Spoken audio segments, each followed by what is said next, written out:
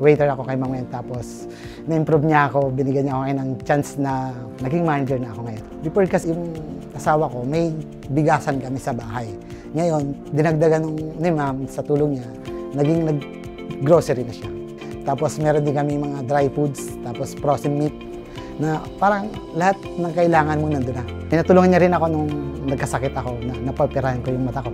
Dahil sa kanya, tinulungan niya ako ulit makakita. Kaya nagpapasalamat ako ng maraming maraming sa kanya.